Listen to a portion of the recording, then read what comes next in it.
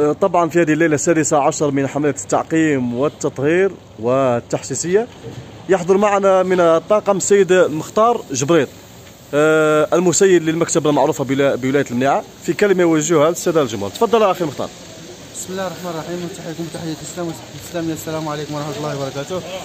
من هذا المنبر أود نشكر مدينتنا المنيعه من جنود الخفاء اللي راهم يعقموا اللي راهم يديروا في التوعية حملات التوعية. واش نقول منكم جزيل الشكر. وإن شاء الله الناس هذه تلقى أذان صاغية.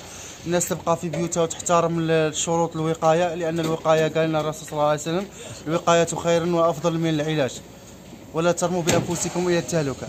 بس على بالنا الموت موت وحده والاعمار بيد الله.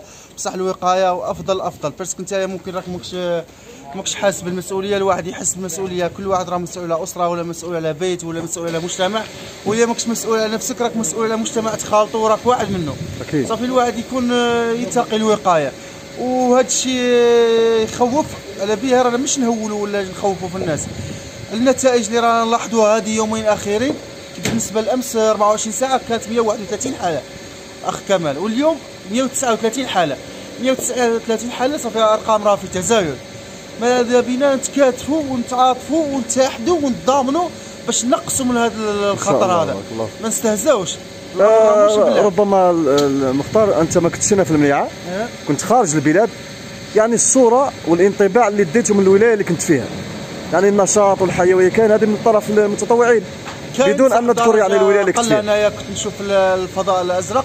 يعني المبادرة انطلقت من المنيعه وكنت دائما نفتخر بولاد بلادي نقول لهم شوفوا جماعة في المنيعه راني تغايب راه ناس في 15 يوم 16 يوم راه منطلقه حمله التعقيم يعني شغل آه، كيما نقول لك واحد المثل آه، اسبق بد آه، واش يقولوا هما أحسن وسيلة للدفاع أحسن وسيلة للدفاع الهجوم هجوم. صافي المنيعه كان بالشباب. تاعها الله يبارك سباق كانت الناس يقولوا راهم يهولوا يخلعوا فينا والمرض مازال ما جاش والناس راه دير في النش وكان اللي يقول لا راهم يديروا هكا الإنسان هذا أنا نقول له مش نشجعهم بقى يعمل في صمت ولا يعمل في علن ولا يسبق الهجوم. أحسن وأحسن وأحسن. بارك الله فيك. كانت زمان الناس في وقت الحروب ووقت التاريخ وكانوا يدرسوا كانوا يديروا الحصون تاعهم على ألف ميلاد.